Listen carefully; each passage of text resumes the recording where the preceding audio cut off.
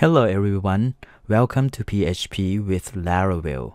Create a restaurant management system. Let me introduce myself to you first. I am Alex Onvilai. I finished a bachelor degree in computer science at National University of Laos. Then I graduated with an associate degree in cybersecurity at the Community College of Baltimore County. Also, I got cybersecurity certification from CCBC as well. Let me talk about my experience background.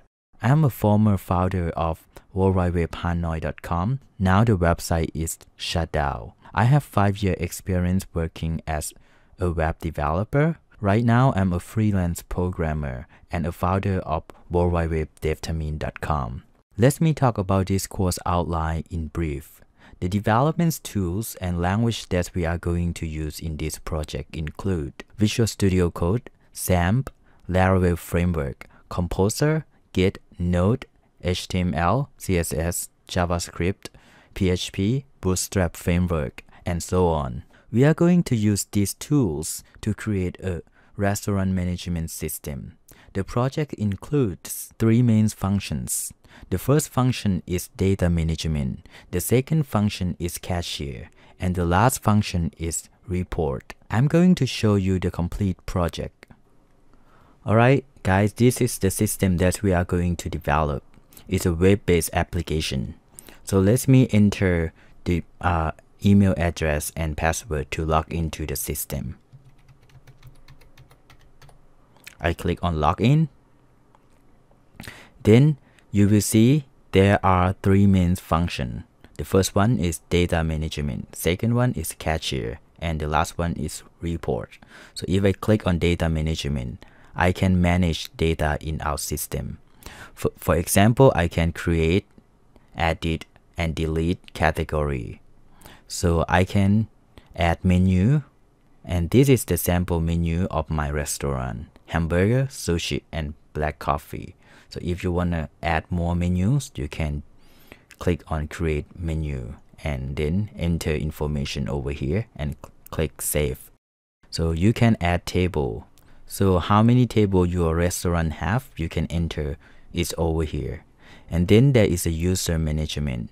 You can add user over here so user can log in to use this system. Alright, let's go back to restaurant app. Let's click on cashier Cashier is used when you get an order from customer. When you get an order from customer, you will click on View All Table. You pick the table that customer are sitting. For example, if they sit on table A1, and then you can get orders from them.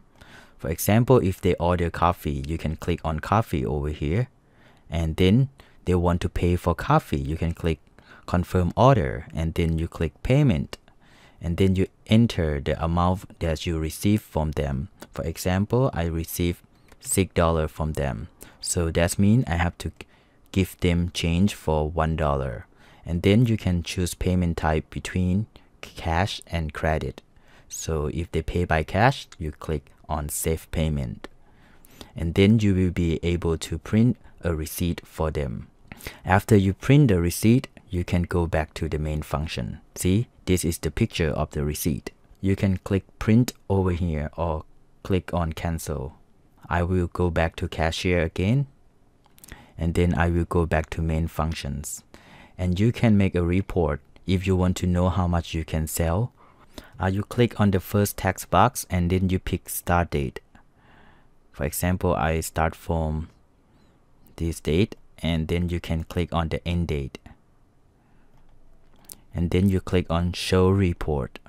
It's gonna show a sale report for you. For example during this date you can sell $91 so there is two page over here and the total result is 8 also you can export this report to Excel as well.